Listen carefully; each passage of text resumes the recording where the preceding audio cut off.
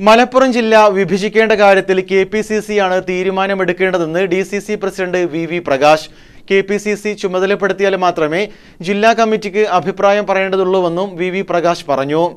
പിന്നെ വളരെ സമഗ്രമായി എല്ലാ കാര്യങ്ങളും നോക്കി എന്റെ വികസനത്തിന്റെ വികസനപരമായ കാര്യങ്ങൾ. ഒരു ജില്ല ഒരുമിച്ച് നിൽക്കുന്നതിന്റെ പിന്നിൽ ഉള്ള ഒരു ഐക്യത്തിന്റെ ഒരു പ്രശ്നം.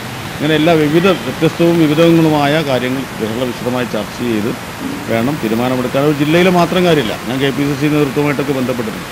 അപ്പോൾ അവരുടെയൊക്കെ സാന്നിധ്യത്തിലും അവരുടെയൊക്കെ അഭിപ്രായത്തിനനുസരിച്ച് എടുത്ത് തീരുമാനമെടുത്തിട്ട് വേണം ജില്ലാ കോൺഗ്രസ് കമ്മിറ്റി. അത് ഈ മാസം ഒടുവിൽ ഒരു ഒരു ഞങ്ങൾ ഞങ്ങൾ ചർച്ച ഉദ്ദേശിക്കുന്നുണ്ട്. അതിനുശേഷം ആ ചർച്ചയിൽ ഉരുത്തിരിഞ്ഞ നിർദ്ദേശങ്ങൾ കെ പി സി സി നേതൃത്വവുമായി കൂടി ആലോചിച്ച് വളരെ വളരെ കോൺക്രീറ്റ് ആയിട്ട് തീരുമാനം അക്കാര്യത്തിൽ എടുത്ത് അഭിപ്രായം പറയും.